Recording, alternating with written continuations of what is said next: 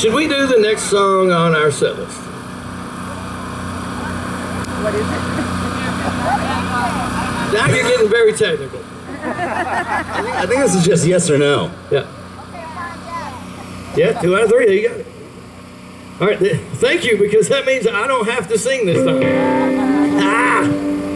So I'm just going to go back here and mess around for a few minutes. All right. We lost someone. She's out. Her and the dog. They're gone.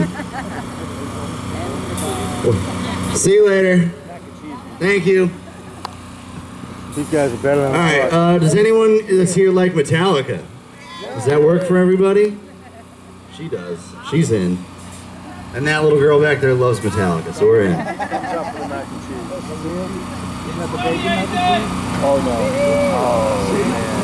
All right, here we go. I saw it on the side. I apologize in advance. Go wrong with